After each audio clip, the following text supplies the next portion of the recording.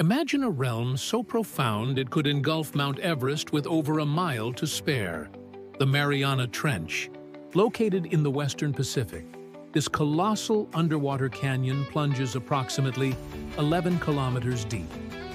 The pressure at this depth is staggering, exceeding a thousand times the surface level, a force capable of crushing ordinary submarines and increasing water density significantly.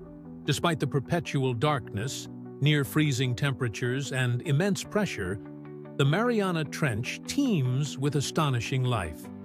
Unique organisms have adapted to this extreme environment, including giant single-celled xenophyophores and translucent amphipods that sometimes incorporate aluminum into their exoskeleton.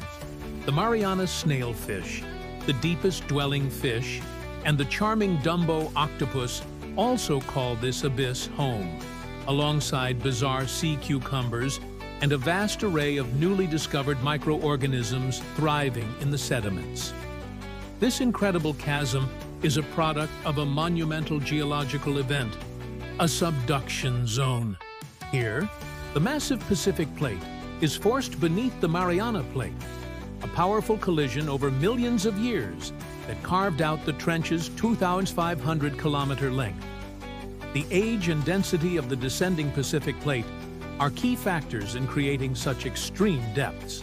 Humans have dared to explore this alien world, beginning with Piccard and Walsh's descent in 1960, where they were surprised to find life. Later solo expeditions by James Cameron and record-breaking dives by Victor Vescovo further unveiled the trench's secrets. Kathryn Sullivan achieved a unique distinction as the first woman to reach both the ocean's deepest point and the vastness of space. Tragically, even in this remote and extreme environment, human impact is evident, with plastic waste found at the trench's bottom.